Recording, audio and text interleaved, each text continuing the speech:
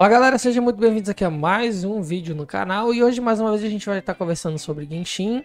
Agora a gente vai estar falando o que aconteceu ontem, né? A gente teve um vídeo aí que a gente mostrou para vocês que a nota lá da Play Store estava bem baixa, né? Tinha baixado muito por causa dos eventos de aniversário, por causa das coisas que estão acontecendo com o Genshin.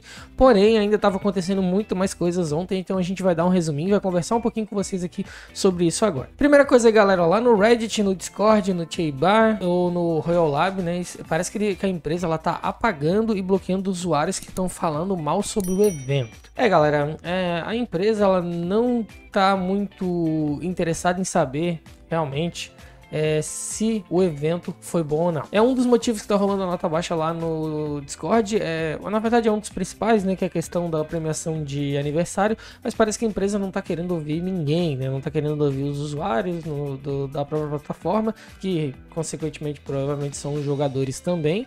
Então, assim, ó, tá rolando bloqueio. Então, você que tem conta no Reddit, no Discord, no Teiba, no Royal Lab, fiquem ligados é, que a empresa está passando pente fino, está deletando mesmo. E o que, que acontece? Né? O que está acontecendo também? É, lá no Reddit, por exemplo, é, eles estão, além de estar tá bloqueando os usuários, né? Quando você faz um post lá no threads deles lá, eles estão passando por um modelador para aprovar o que você escrever, né? Então muita coisa não está sendo aprovada, já muita coisa não está sendo mais passada.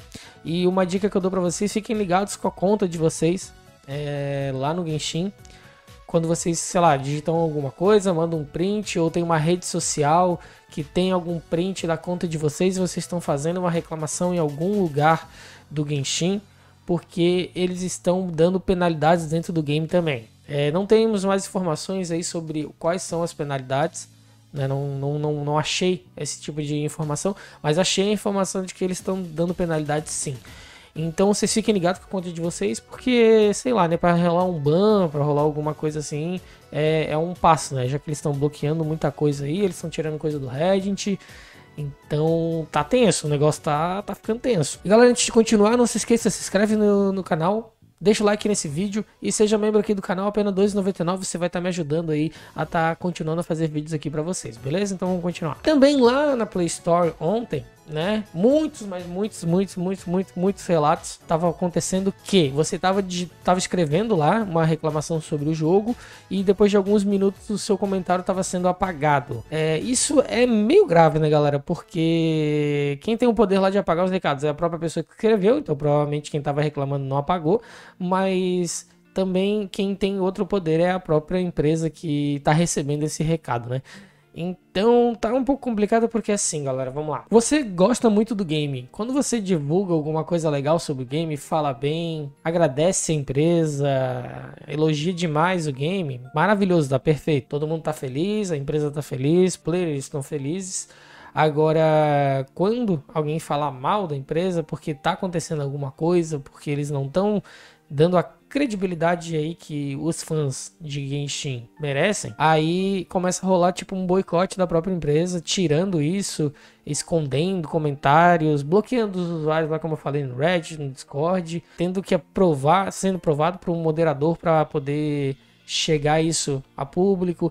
Então, assim, mostra um pouco que a empresa está mais preocupada com a imagem que eles têm. É meio óbvio isso, né? Mas, mas eles estão mais preocupados com a imagem que eles têm do que com os jogadores que fazem o jogo de, deles ser da maneira que é. Então, bloquear usuários, é, excluir mensagens, isso, é, pô, isso tá tirando a chance das pessoas terem direito de se expressar sobre o game.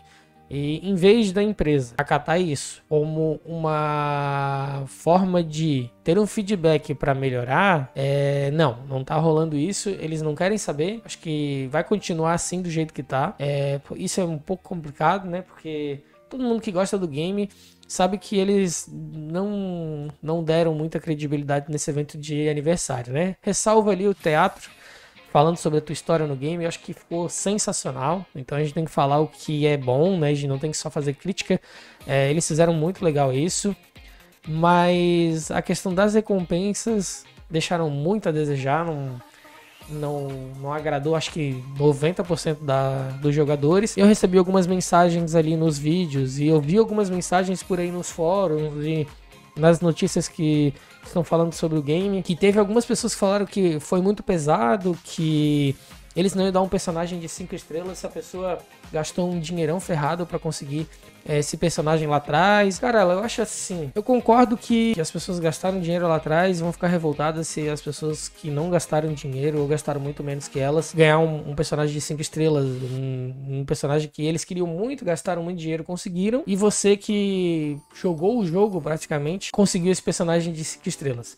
Mas assim, as pessoas se esquecem de um detalhe as pessoas que gastam e estão reclamando dessa maneira. Galera, não é uma crítica às pessoas que reclamaram. Acho que todo mundo tem o direito de expressão e tal. Só que tem um porém nessa história toda aí. E que é, para mim, o mais importante do que gastar, do que, não sei, conseguir alguma premiação e tal. Que é a questão do tempo que você passa dentro do game. Galera, você sabe que jogos online requer muito tempo dentro do jogo. Você quer uma dedicação é, muito grande. É, você às vezes acaba deixando de ficar um pouco com a sua família, você acaba deixando de sair, você acaba deixando de fazer muitas outras coisas para se dedicar ao jogo que você ama. Não tá errado, galera, mas é, o tempo, o tempo que você passa dentro do jogo, ele é muito mais importante do que tudo para mim meu ponto de vista, deixem nos comentários o que vocês acham aí. Mas assim, é, o tempo acho que vale mais do que o gasto. Por quê? Porque você, dentro do game, você, como eu falei, você perde muito tempo da sua vida, não é perder, entre aspas, eu botei perder, mas é um tempo que você alocou pro jogo, que você passa ali muito tempo em cima. Isso não, não tem de volta, não, não, você não vai ter retorno. No dinheiro ali, quando você investe o seu dinheiro e você gasta ali para poder tirar alguém no banner, quando você tira, entre aspas, tá? Porque você às vezes gasta muito para conseguir um personagem, às vezes não vale tanto a pena, ou às vezes vale, mas o dinheiro gasta muito grande. Mas, entre aspas, você tem um retorno, que é o personagem que você cria. O tempo do jogo, é, ele até te dá um retorno, né? Que é você ficar mais forte, que é você ter as coisas que você quer dentro do jogo. Só que ele é um longo período, né? Ele é muito maior. Cada banner que vem, você vai lá e investe dinheiro absurdo, né? Você vai lá investe um dinheiro absurdo, joga todos os tiros lá e consegue o personagem. A maioria das vezes é assim. Tem gente que investe um dinheiro e não consegue também, galera. Tem sempre as exceções. Eu não vou abranger todo mundo aqui. Mas a maioria, a grande maioria, vai lá, ah, beleza, eu quero tirar esse personagem aqui.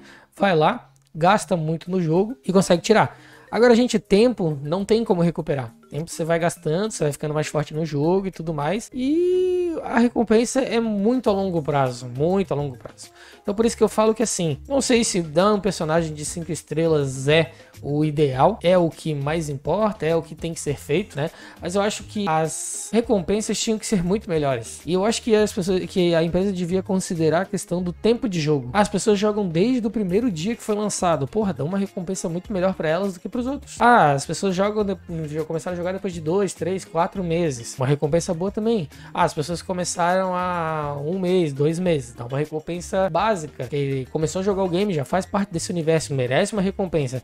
Só que não merece recompensa igual a uma pessoa que está um ano jogando. Não tem lógica, não tem sentido, não tem comparação nisso. Então, assim, acho que faltou um, uma certa organização, uma certa visão da empresa para valorizar as pessoas que mantêm o jogo vivo até hoje, que são aquelas que começaram a jogar o jogo lá desde o primeiro dia. Então, essas pessoas que trouxeram as outras pessoas pro game, querendo ou não, indiretamente, diretamente ou não. Então, é complicado essa questão das, das recompensas. Acho muito triste essa questão de bloquear o que os usuários estão falando, isso é direito de expressão você tem o direito de reclamar sobre o game, como você tem o direito de elogiar e ninguém vai lá e boicota e remove o seu, o seu comentário, nem te bloqueia. Então acho que o, o oposto é, não deveria ser feito. É, sim, tá tendo, entre aspas, um excesso. Não é questão de ser excesso. Acho que a palavra certa não é excesso. Então eu não vou dizer a palavra certa, acho que não, não tem uma palavra certa, mas é porque a comunidade do Genshin se juntou muito, é, abraçaram a causa. Acho que falta para muita comunidade de jogo hoje em dia. Uma meia dúzia reclama de jogos e não vai atrás. É, então a comunidade do Genshin tá de parabéns. Eu que bom que faço parte dela, tô fazendo os vídeos aqui falando a respeito, porque acho que tem que a gente tem que ser ouvido. Acho que os jogadores do Genshin precisam de mais, porque eles se dedicam muito mais ao game. É, não sei se dedicam muito mais que os outros jogos, mas eu tô falando exclusivamente do Genshin. Acho que